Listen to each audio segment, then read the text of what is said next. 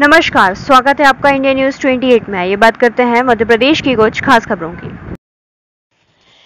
केवल शरीर को तपाना तप नहीं, अपितु इच्छा का निरोध करना तप है।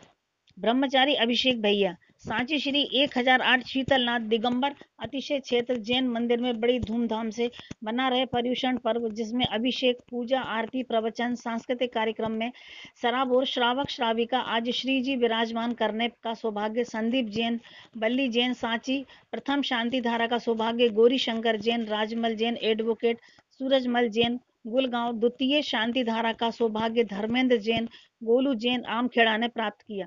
सांगानेर से आए ब्रा भैया अभिषेक ने सातवें धर्म उत्तम तप को बताते हुए अपने प्रवचन में कहा कि केवल शरीर को तपाना तप नहीं, अपितु इच्छा का निरोध करना तप है। जिस प्रकार से राग, द्वेष, मोह, रूप, मेल भिन्न हो जाए तथा शुद्ध ज्ञान दर्शन में आत्मा भिन्न हो जाए, वह तप है।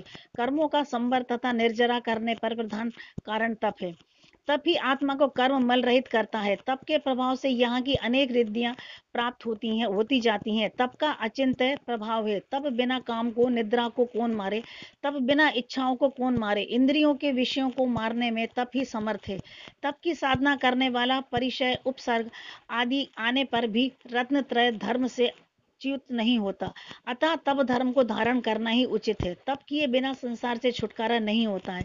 चक्रवर्ती भी राज्य को छोड़कर तप धारण करके तीन लोक में वंदन योग्य पूज्य हो जाते हैं। अतः तीन लोक में तप समान, महान, अन्य कुछ भी नहीं है। राजमल जैन एडवोकेट ने इस संबंध में दी जानकारी। इंडिया न्यूज़ ट्वेंटी के लिए ब्यूरो चीफ राकेश जैन की रिपोर्ट.